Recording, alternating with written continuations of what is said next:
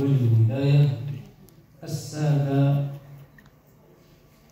مديري ومسؤولي مديري المؤسسات الإدارية والأمنية والاقتصادية والاجتماعية. الحضور كل باسمه ومقامه يحييكم بتحية أهل الجنة وتحية فيها سلام فأقول السلام عليكم ورحمة الله وبركاته. أما بعد المتحدث من قسم العلوم المالية والمحاسبة بجامعة عين الشمس مدرب معتمد وعضو باللجنة العلمية لحفظ الأعمال الجامعية بجامعة عين تمشت مداخلتنا سوف نتكلم عن بصفة مختصرة وسوف أختصر لأن يكون هناك نقاط تشابه مع الدكتور الذي سبقني. أقول أن الجزائر في الجزائر والمؤسسات المصغرة.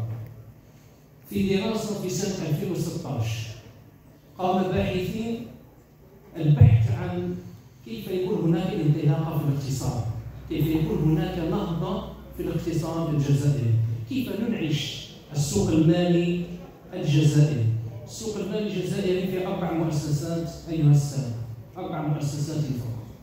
فوجدوا في دراستهم أن الجزائر بحاجة إلى مليوني مؤسسة مصغرة مليوني هذه الدراسة في 2016 إذا يمكن القول أن الآن بحاجة إلى مليونين ونصف مؤسسة مصغرة.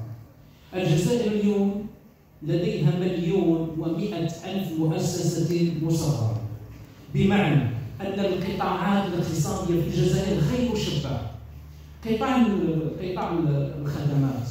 في أغلب دول العالم تصل إلى 80% في الجزائر في حدود 50% لاحظوا معي أن القطاعات التي تنشر فيه المؤسسات الناشئة حوالي 18 قطاع. هذه القطاعات كلها غير مشبعة تحتاج إلى مؤسسات تحتاج إلى فتح مؤسسة مصغرة أو مؤسسة ناشئة.